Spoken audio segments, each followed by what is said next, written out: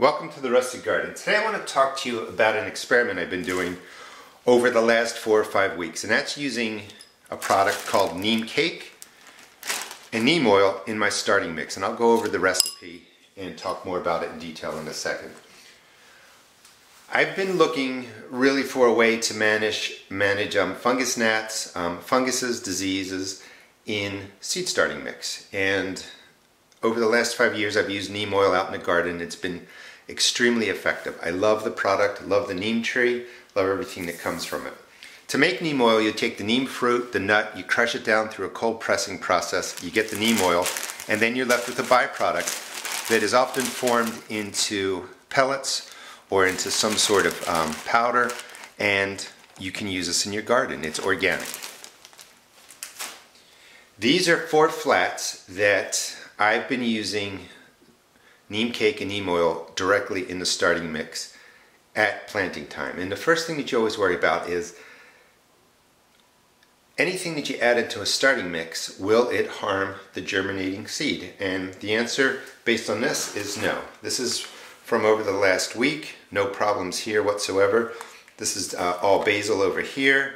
These are different kinds of herbs doing very, very well. I'm not concerned at all about the neem cake and the neem oil affecting germination. Here are some more things. Different uh, cool weather greens. No troubles whatsoever there. This is my pepper flat that's been uh, probably up for about two weeks. Germination is fine. The seeds that haven't germinated, germinated yet are just slower to germinate for, you know, the pepper varieties. No issues whatsoever. And this is the older one that has chives, thyme, peppers, different kinds of lettuces, all doing really well. So number one, no germination issues from using neem oil and neem cake in your starting mix. These are organic products, 100% organic. The neem tree has had its products used in India for 2,000 years or longer. Look up neem tree, neem oil, and read about it. It's a wonderful, wonderful tree for helping us manage pests and disease. So, like I said, it doesn't affect germination. So how am I using this? This is one gallon of starting mix, dry starting mix. And basically how I do it is I just cut the bottom out of a milk jug, scoop it up, put it in there. That's one gallon of dry starting mix. Now to that, I add two teaspoons of the neem oil. This is dry, it's not wet yet. Don't add the water till the end. This is the recipe that I've been using. Just pour it across the whole mix. You want every drop, so put a little in there and scrape off the oil stuck on the spoon.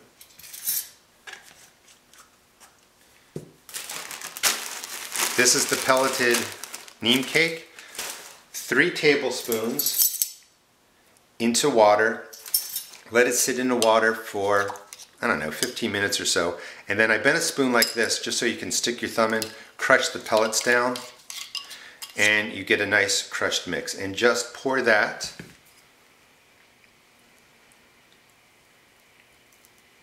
into your starting mix. Now, this is organic. It has the qualities that are found in the neem oil that help with managing pests and diseases, but it's also a fertilizer. It has NPK in it um, because it's a natural product, and that will be something that your seedlings and plants can feed off of. Now, it's not 100% water soluble NPK. That means it's not readily available to your plants, but over time, when you you know transplant it up into cups and stuff like that, that will break down and that will be available to your plant. Plus it's going to protect the root system. A lot of times the neem cake is used to deal with nematodes, especially in Florida or the warm areas. So now that you've added your products, add in some water, and I just want to show you the mixing because this is what's most important. Not exciting, but important. Is you want to just keep pushing the starting mix to the middle, grinding it up, and really dispersing the neem cake pellets that were crushed up and a neem oil through the starting mix. Rub it through just like that, break it up. Don't oversaturate this.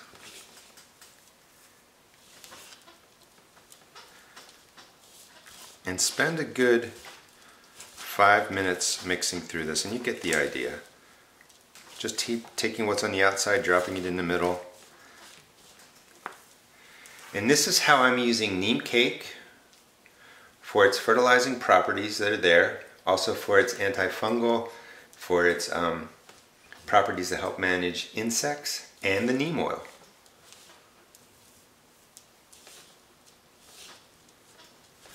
This sets up your starting mix so that you can really have a base that's going to help manage pests and disease in your seed starts. Nothing fancy. That's the setup. Now, I do a second process once we have the starting mix in there. This is water. I've been showing you my recipe for neem oil spray. I cut out the soap because it's just not needed. Only because in a small container like this, we can shake it uh, vigorously every time you make a spray. The soap helps disperse the oil through there, but if you can shake it up, you'll be fine. And I'm putting about one teaspoon, get rid of that dirt, into the spray, or into the quart container. You could do tea, two teaspoons if you want. And this is how I'm using neem products to deal with funguses and disease in my starting mix. Just shake it up. You'll see the oil disperses through there. And then I like to soak the top down. And the reason I do that is if there's any fungus gnats, which I have them in my closet because, you know, they just show up. No matter what you try and do, they show up. So you try and manage down any insects, you try and manage down any funguses, you try and manage down any diseases so your plants aren't affected. By putting a spray of neem oil on top of here, any fungus gnats or insects or any funguses or spores that get on here are going to be hit with the neem oil and that's going to affect their development at different levels. And just so you know, neem oil has a component called azadirachtin plus other components. But the azadirachtin is a chemical compound that if it gets on the insects, if it gets inside the insects, it kills them in some capacity.